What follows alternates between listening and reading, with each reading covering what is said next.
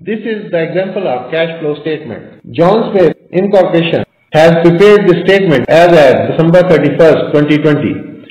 It includes the column of account description, then note and amount for the year ended 2020 and previous year 2019 for comparison. It starts with first item cash flow from operating activities which starts profit before taxation. Then the adjustment for non-cash item is made, which is depreciation. Then adjusted the increase or decrease in current assets, which are inventories, account receivables, and advances, deposits, and prepayments.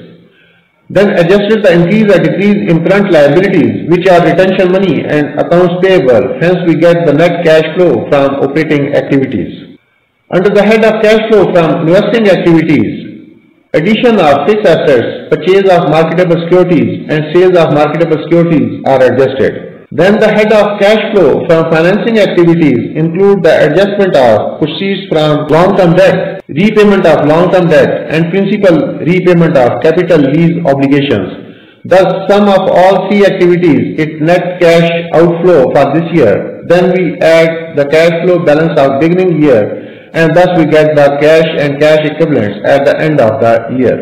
Note column reflects the additional detail regarding the respective heads of cash flow which is permanent part of the statement.